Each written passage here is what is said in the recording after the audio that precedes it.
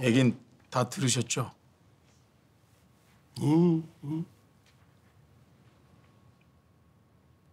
제 입장 변함없습니다, 아버지.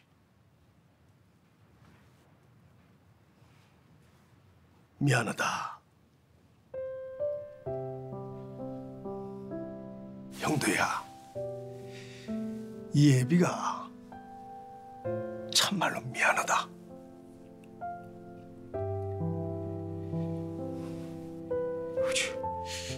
그리고 네가 싫다고 하면은 이 결혼 안 할게요.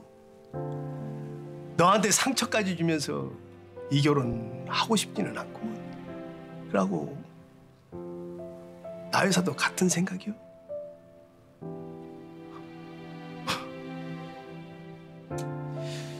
참 사는 게 바쁘다는 핑계로 어린 너하고 네 엄마한테 참 너무 외롭게 놔뒀지. 너한테도 좋은 애비가 못 됐고, 네 엄마한테도 좋은 남편이 못 됐고, 참 미안하고 부끄럽다.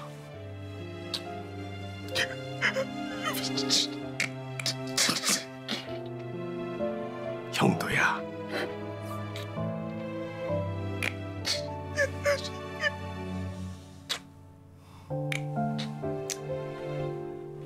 그간